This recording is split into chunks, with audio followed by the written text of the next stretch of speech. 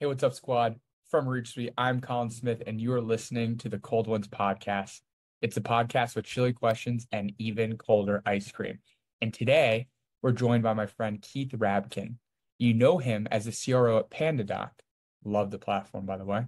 Former SVP at Security Scorecard, and your favorite Wharton Finance Club president. Welcome to the show, Keith. Hey, thanks for having me, Colin. Really excited to be here today. Yeah, me too, man. I and by the way, I love PandaDoc. I just want to like say that up front. Uh, you didn't pay me to say that. I love PandaDoc though, man. I use it every single day.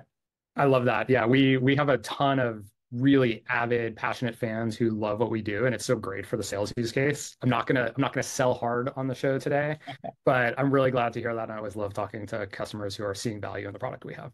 No doubt, no doubt. Well, welcome to Cold Ones, man. We're again, we're we're grateful to have you. We're excited to have you. Um, you know, kind of dive in a little bit. As you know, we always pick, we curate two ice creams for our guests uh, based on our conversations, based on just getting to know you and, and uh, becoming a friend. And so for the first one, before we jump into our personal rapid fire, do you have the ice cream ready? I do. I'm gonna eat it right out of the carton. At first, I was a little, I was a little like offended maybe that you were giving me vanilla, old, old fashioned vanilla. I know you have a reason that you picked this, which I can't wait to hear. But yeah, I was yeah. like, are you saying something about me? Are you calling me it's vanilla? the flannel, Keith. No, no. In our in our one of our first conversations, you and I bonded over how old fashioned the pharma and med device industry is. Few people know this, but you have a background in Johnson Johnson. I have a background in Applied Medical and, and some other great companies, and they're awesome, right? But they are so old fashioned compared to where we are now. And so I thought it was fitting for a for a personal rapid fire. Yeah, we had a good bonding about that. Um, and while I certainly loved my time at J and J, it was very old fashioned. Was hard to get them to change, and it is great being back in the tech world in a place yeah. that's fast moving and, as we'll talk about, very customer centric yeah. um, which you don't often find in the, the healthcare world. Yeah, it's a little different, right? Some different folks, you know, it works for them though, and they're successful. Um, all right, you ready for some rapid fire? Yeah. All right, first question, and, and, and I also like to say, I love this part of the conversation. I know we kind of like jumped through it, but I love this part of the conversation because people know Keith as a CRO at PandaDoc, right? They see you on LinkedIn and they know your picture on the LinkedIn, but they might not know who is Keith Rabkin. And I think it's really, um, yeah, it's, it's really enlightening to get to know some folks deeper than just the LinkedIn post. So, first thing, Keith, what is something um, what is something about you that people often misinterpret? Well, I was gonna make a little joke about the vanilla. Um, I think some people might often say that I could be a little vanilla. Like I've been described as as very nice, like very nice guy, like very like what you see is what you get. You made the joke about my flannel, like yeah, I wear flannels a lot. Um, I think I'm this like I don't think I'm vanilla like if i probably had to describe myself i'm maybe like a mint chip honestly. I'm this like very weird mix of like super nice like you're never going to find someone who is nicer but also this incredible driver who i think sometimes just like pushes people really hard. Well let me ask you i think it's someone who has been described as intense i've definitely been described as intense and my dad's very intense. I know exactly where i get it. My mom's pretty intense. Have you always been able to turn it on and off or did was the intensity something you had to learn later in your in your career later in your life as you evolved I think it's always been there, but I think there's like there's a couple defining moments in my career, and each of those defining moments has sort of made the intensity come out. Um, so the first was when I went to business school, and in business school, I like really set out to to work really hard and um, do very well, take advantage of everything going back to school provided, right? Like it's it's so great being in college the first time, and then you go into the working world, and then I was like, oh my god, I had this missed opportunity. I didn't take advantage of everything college had to offer, so let me make sure I do it. And so like that ratcheted up the intensity. And then the second time was joining Google, where it was just this amazing company, and there was so much to take advantage of, and I made sure I doubled down my effort. And then, you know, I think beyond that, it's just continued to come out of these like inflection points in my career. Yeah. Okay. So it's something that kind of you evolved into as as you as you grew up maybe maybe or as you got you know older and and and um, deeper in your career. I think for me i've had to evolve in the other direction. I think i was really intense.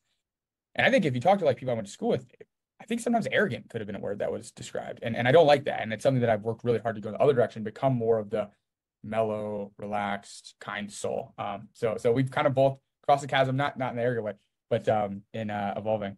All right um i love this question so much. What is something that few people know about Keith, but you wish more folks did? So it's interesting. I was um, thinking about this. I feel like I'm kind of an open book, really. I don't really try to put on something that's different than who I am. I don't have a different work persona from my personal. I, I feel like the teams I work with get to know me really well. Yeah. So that was a little bit of a hard question. Um, and I'm not sure there's anything I wish people knew about me, I guess, but maybe some things that don't make it out in my day job or in my normal life, even with with people who are friends. Uh, my passion for gardening, like I absolutely love going in the garden. So I live in California, Northern California. We've got a great climate, and you know, I never would have guessed this about myself, but when we got a house, I would like I just found myself gravitating towards planting things and making sure like the garden was well put together. And then I started collecting fruit trees, and uh, we got like a ton of citrus this year, which was great. Um, I've got my pomegranate trees now starting to bear fruit. My avocado trees bearing fruit. I get like really pumped when I see it. Yeah, you can see even getting lit up right now. Oh bro. yeah, oh yeah, for sure. And then I took that a step further, and I got like a gardening box, and I've been growing my own kale and strawberries and carrots. So oh man, that's that's something a lot of people don't know. And then I alluded to like I can be a bit of a workaholic, um, but I think also just I love spending time with my family. Yeah, uh, yeah. And so like I work hard, and it's so cliche, but I play hard and like really try to play hard garden. yes. I, I imagine gardening is, I mean, literally grounding, like literally grounding, right? And with um being a CRO, especially with fast growing organization like PandaDoc, like you're you're you're in the Excels, you're in the CRM, you're spending so much time. It's like it reminds me of like the um uh Wolf of Wall Street, like numbers, numbers, numbers. Get outside, put the phone away, spend some time in the dirt. Like that seems like the polar opposite. Brings you back. Yeah, I think that's spot on. I mean, it really it takes you back to like where humans came from and um, there's just like something really refreshing about i mean you could say it's not nature because it's like my backyard but it's yeah. like it natural elements and you know like you're you're there with like the pollinators the bugs the worms like your hands are dirty um, it's great i mean it just i've never gardened maybe i'd like that maybe i should try it this year huh. all right keith you inspired me all right i'm gonna do the last one last one do you want to do high, funniest uh um celebrity encounter or do you want to do last purchase over 250? Which do you prefer? I, I don't have a, like a great funniest celebrity encounter. I'll just say quickly, I went to a high school with a lot of celebrities. Um, so that was it was just interesting because like they weren't celebrities at the time. They yeah. were children of celebrities. Um, I won't go into that. So we'll just leave it there. Okay. Um, so why don't you ask the other question? But that's like okay. A, um last last purchase over 250 bucks. Anything. So I would I would say yeah, like dinners very frequent. Like I'm a very big foodie, so I love dinners over 250. I'm also a big wine person, but I do not spend over 250 on Yeah, come on. Um, so I brought I bought a new soft shell jacket and Arc'teryx, and that's probably my recent purchase. Was it the Atom? Do you know? I don't think it's the Atom. I think it's like a the Gamma MX. Okay. Okay. That's pretty funny, man. One of our uh, we we recently did um, a cold ones with with another great, uh, great, I'll leave the name off and it'll come out, but marketing leader. And we asked the question and he said um, an Arc'teryx jacket called the Atom, which was his favorite jacket he's ever had. So we've got some Arc'teryx fans in the in this uh, SaaS space here. Yeah, they make some great stuff. Yeah, no doubt, man. No doubt. I've never I've never owned a Arc'teryx jacket, uh, but I like the logo. I like the logo. It's kind of fun. All right, Keith. Thank you for sharing a little bit, man. Thanks for opening up, being vulnerable with us. We're going to transition to the second part, and this is really the operating wisdom, right? Like you've done so much again from J and J to Google to Security Scorecard, and now leading uh, the entire revenue division at at um, PandaDoc. I'm excited to dive into some of the topics we have at hand here. So bring up that second ice cream. You have it with you. Boom! It's the blue. You go, go. That's even a silly. It's just a silly carton right there. I don't think I've ever heard of this brand before. Maybe I'm like missing out. But... I don't think I've ever heard of it nor ordered it, but it's the twist. It's the strawberry cream twist. And the reason I got this is because a big part of our conversation. How are you doing? Really sweet. Yeah, it looks like super sweet. It looks like uh, like 1990 um summer at the pool ice cream that you get from like the pool stand. It's exactly what it tastes like. yeah, exactly. Um, the twist, man. I, I saw it and I was like, I'm really like, we have not on the cold ones to date talked about consumer technology. And that's a big part of our conversation today, which is a total twist on B2B SaaS. And I, I mean, just everything seems to be different. And I'm so pumped about that. So that's why we picked a twist, the strawberry and cream for you. Um, all right, you ready to jump in? Yeah, let's do it. So, so first one's one that I personally, I personally asked you to talk about, and it's operating in a highly competitive space. I think a lot of folks are afraid of operating in a highly competitive space. I'm afraid of it. It just seems challenging, right? And I think I think document management would be considered, you know, a, a competitive space and certainly one where there are vendors that I that come to mind for me, and some I've used, some I haven't. So I want to just kind of ask you, Keith, first and foremost, share a little bit of insight on operating in, in a highly competitive space, and let's dive into some of the tactics and some of the playbooks that you've learned to to deploy uh, to win. Yeah, um, thanks for teeing that up. I think, you know, I've talked about this with you and with others in the past, but your reason for bringing up consumer tech, consumer tech, I find, and I learned this in my days at Google, my days at Adobe, that you anchor on what the customer needs and you try to solve for that. And I think oftentimes in B2B SaaS, number one, we forget that you're trying to solve a customer need. We're just selling to you from a process. And you also forget that your buyers are consumers in their home life. And so what I try to do is really think about how I can anchor back to that customer need. And I think in a particularly competitive space, this leads to some different angles. Um, for me, it means that I go even deeper on the customer needs in the very beginning. Like I want to, I want, like I don't want to bring the competition up. I don't want to go head to head against the competition. I want to leave breadcrumbs in my discovery, in particular, in my sales process, that get the people I'm talking to to understand why my platform is the better choice for them. Mm-hmm. So mm-hmm. that keeps me from going down that hard path sell. Um, now, how do you do that? I think you do like the classic sales techniques. It's, you know, it's mirroring, it's going deep on discovering, um, and that will lead to answers. So one really interesting thing, yesterday I was on a pretty large potential deal for PandaDoc, and they're with the incumbent today. Um, and I just started, you know, classic, like just tell me about your business and what's working and how does like how does this process work for your customers. And I'm just trying to get to their customers and understand their customer pain yeah. points. That leads to their pain points in selling to customers. Yeah.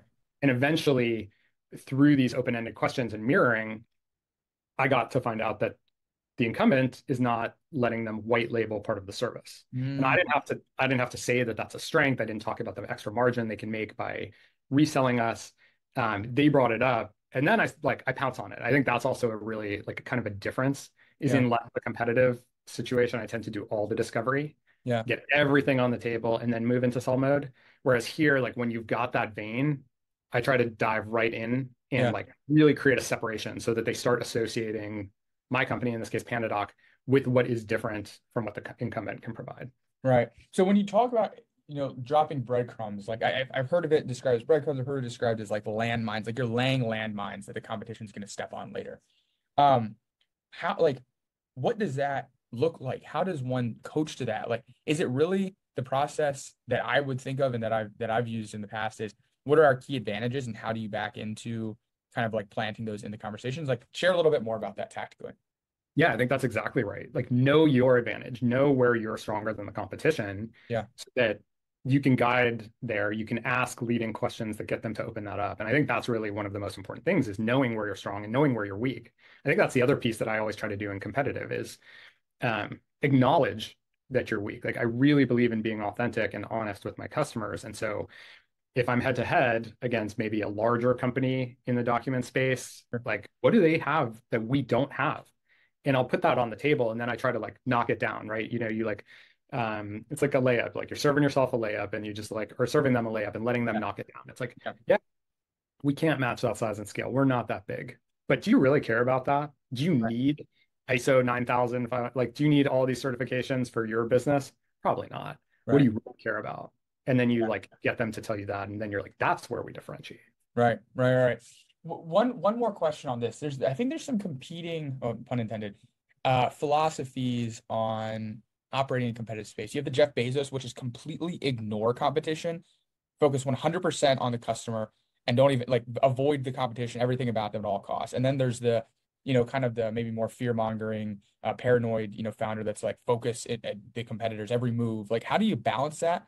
When do you focus on the competition, and when do you completely ignore? And maybe you're like, no, I'm on the Bezos side. I don't pay any attention to them. I'm more on the Bezos side. It's it's what does the customer need? The place where the competition comes in is if you're thinking about what the customer needs and there's always going to be a lot that they need and you have to build with with your team towards that over time. If there's things that the competition is doing that meet those needs better than you you've got to understand that yeah. right? It's not so much you're going after what the competition does you're going after what the customer does but the competitor may do it better than you do today.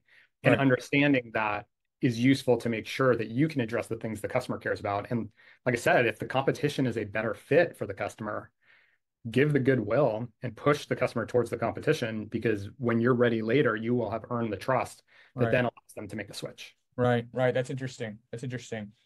Yeah, I mean, I think I think it takes um a lot of confidence and maybe some some war scars of of focusing too much on the competition, seeing it not really work out in your favor for you to go, it's not the right approach. Um, so Keith, you said something to me in our in one of our first conversations that really struck me, and I'm still trying to make sense of it. And I don't I don't know, I don't know if I, I still to this day understand it, but that's why I want to dive into it. You said, Colin, you have to treat the sales process like a customer experience. You have to, I don't know, tell me what you what you shared. It was so like, what does that even mean? But it sounds great. Yeah, so I do like to think of the customer experience and and in fact the whole customer journey, not just sales, right?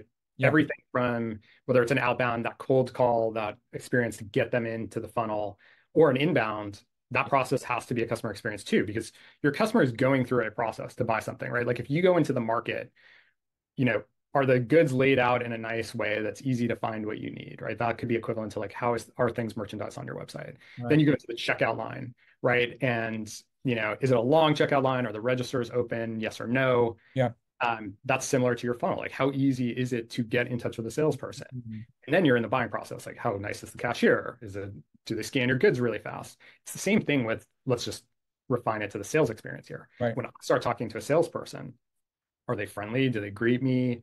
Do they make it easy to understand my needs? Do they have a good follow up over the buying cycle?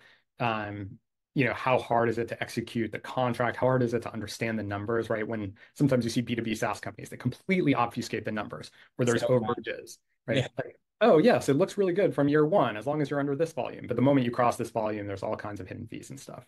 Right. Try to make it a really transparent and easy to understand experience because I think customers enjoy that. And the more you optimize that and you make it an enjoyable buying experience, the more likely they are to buy your product, the more likely they are to refer you to their friends, and the more likely they are to stay with your company. Right, right. Taking all the stuff that has been really hot in the CX world and actually bring it into the sales and buying process. That that's exact. So it was it was. I remember the the, the direct quote is like, you know, Colin, you have to think about your sales process as a product. That was what we talked about, and I was like, I product like I don't know why I went hardware like iPhone, and then sales process this like philosophical kind of like airy, right? Just it's not you can't touch and feel it. Um, can you give an example though of like the, the last thing you just said was think about all of the CX tools and and and research and innovation that you've seen over a consumer and bring it into the sales process. Can you share an example? Can you can we get tactical here and drill into where did you when you showed up, let's say PandaDoc, you know, month one, what was an or it doesn't have to be that example, but what's an example of a place where you're like, we need to optimize this portion of the process? I'll tell you one I actually don't like. Um, I'll use the uh, the opposite. One that like I'm caught, right? I'm caught because yeah. I want to make sure that um, you know, I'm running a healthy sales cycle, but I also want to make sure I'm customer centric. And it's if you're in that discovery call and like every good salesperson knows you don't want to talk price right away. Um, you don't want to like you definitely don't want to get in the nitty gritty. You might like talk about it at a high level, but um, and I do this when I'm on sales calls too. Like I go the first thing I'm like, I want to know the price. Yeah. And all these reps are like, nope, we're not going to tell you the price. And I'm like, I'm out of here. Like, this is not interesting to me anymore because you've just destroyed my customer experience. Like, yeah. I don't want to spend my time in a discussion where price is an obstacle. Like, and I get it. You want to go to value first. Um, so if my customers at PandaDoc want to get to price, my reps will talk about price early. Now we try not to. We we really want to do that deep discovery we want to make sure that we understand their needs and then we're guiding them away from price because yeah. we want it to be about value. Right. Um, but at the end of the day you've got to make it work in a way that it does for the customer and if the customer is in a rush or they're in a competitive cycle you got to be willing to do that. Right right. Yeah i mean if we're talking about like consumer technology right could you imagine going to a grocery store and picking up a steak and it didn't have the price on it only to show up at the register and find out it's $200 and you had a $50 budget for a new york strip or like, have you ever been to a restaurant and it's like market price for the lobster? Uh, yeah, yeah. You're like, oh, I definitely want lobster tonight. Market. And you're like heart set on that lobster, and then the waiter comes and you're like, I mean, I don't know, maybe people order it without asking what the market price is, but I always ask. Yeah. And then like, oh, it's like eighty dollars for the lobster. And I'm like, yep, guess I'm going to my second choice. And yeah. now I'm disappointed because I yeah. got my heart set on it. You got here and then you went down, right? You got here and you went down. Um, let's say we have a lot of CROs and VPs of sales who listen to this, uh, to cold ones. And, and I, I imagine there's gonna be some folks who hear this and go, okay, make our sales process, think of it as a product. I like that. I know we need to improve our sales process. We've been told, I can think of some, some, some customers and, and, uh, some, some advisors who have shared with me confidentially. We've been told we're really hard to work with and we need to improve that. So they're listening to this and they go, Keith, help me. Like, how can I, how can I, what are some, so Yeah. Yeah, I'll tell you one of the best things we did. Um, we took someone on our team, um, someone in marketing, and we made them do a secret shopper on us. And they like created a fake company and they went through our sales process and they recorded all the calls and they broke it down and they told us everything that didn't work. It was like, look, first thing, took you guys way too long to get back to us on the inbound funnel. Second thing, rep showed up, you know, saw I was sort of like younger, maybe not like the perfect buyer. They didn't treat me with respect. Those got cleaned up real fast, right? Like the moment we found out this was happening, you can like there's things that just don't you, you can't check everything. And the moment you understand these things, you can go out and fix them. Or another thing, um, the follow-up time was too long between calls you're you know nobody shared the information in a way i could understand. And you start to break these things down and you create like a punch list of all the things you've got to go and fix. Uh, so that secret shopper exercise was really powerful for us. That's interesting. I don't think i've heard of an organization doing that. That's really and how long in, into your time at pandadoc did you deploy the secret shopper strategy? We did it in the first month. Um, this was something i had seen at other companies and i just like I like I say, I really obsess about the customer journey, and this is a very important part of the customer journey. Making sure we nail that customer experience in the selling process has led to better outcomes, and we hypothesized it would. And this got us an unbiased look because, right, like if you're honest, you go join a sales call as the CRO, everyone's going to be on their best behavior, and you're like, great, my sales team's super professional, they're going to do it. Um, you know, this gives you that like behind the scenes look to go make things better. And and did they ever get like I just want did they ever get caught? Like did the seller ever like kind of pick up like I think this is someone that works for me or no? Like they like pulled the whole thing off. We I think we went out, we did 20 calls and one seller figured it out. Oh. That must have been kind of awkward also. That's great. Yeah, it was it was awkward. Uh, the team did a really good job on it, um, but it's been it's been really powerful. And you know, I think like, and I think it's the other thing, right? Which maybe goes back to my like being vanilla and yeah. being a nice guy is like it's all good we're here to fix things. We're here to make things better. It's not like the reps who who didn't do things right. You know, yeah. it, it, was just like, great, this isn't what the standard we want to be is. So let's yeah. move in that direction. And you know, hats off to my team because they really have embraced all the change and up leveled their game in a tremendous way. Was there any that you felt like was welcomed with open arms versus maybe an optimization that was really pushed against and you had to you had to change manage that harder than others? I think change is really, really hard. Um, but the proof is in the pudding. When you get win rates up, when you get deal sizes up, um, that is the answer, right? And like I try to, you know, and it's hard, I think, especially when you're new, because you can't say trust me. Yeah. But um, I think sometimes starting small, which can be a really good tactic, is like yeah start with one rep or two reps or start with a pod of reps and get them to do it and show that that success works. And sometimes you've got people who are inherently more open to trying new things, win them over and then use those allies to win, win over the rest of the sales team. That can work yeah. really well. Yeah. Yeah. It's, um, have you read the book, uh, Switch?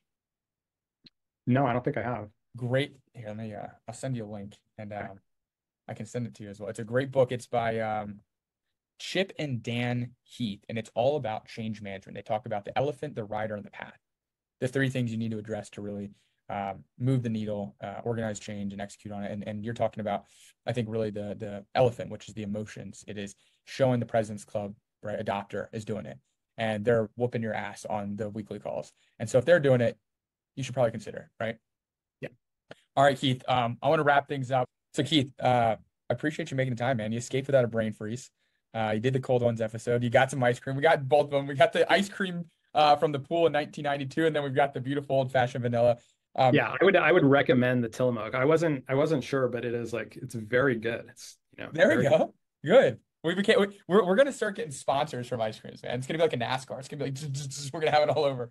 Um, so Keith, tell the audience, man, folks who are listening, what's going on in your neck of the woods next year? What are you excited about, and uh, what can we what can we expect from you?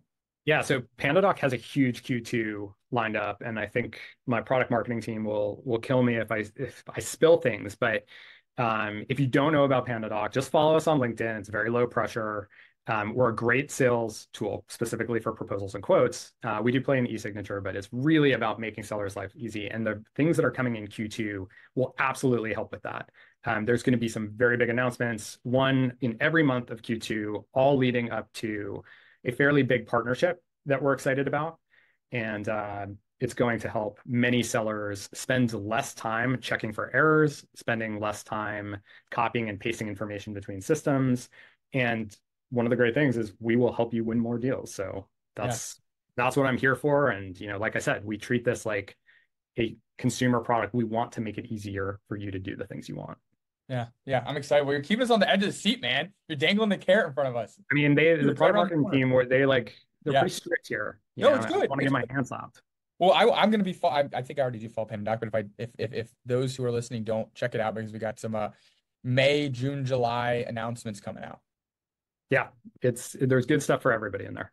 All right. Well, thank you for your time, Keith. I appreciate you, brother. Yeah. Thanks, Colin.